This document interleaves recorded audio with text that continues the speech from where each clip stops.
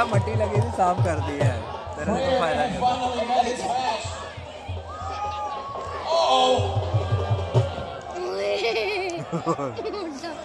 उसके कंधे पे मिट्टी लगी थी, वो उसके साफ़ हो गई।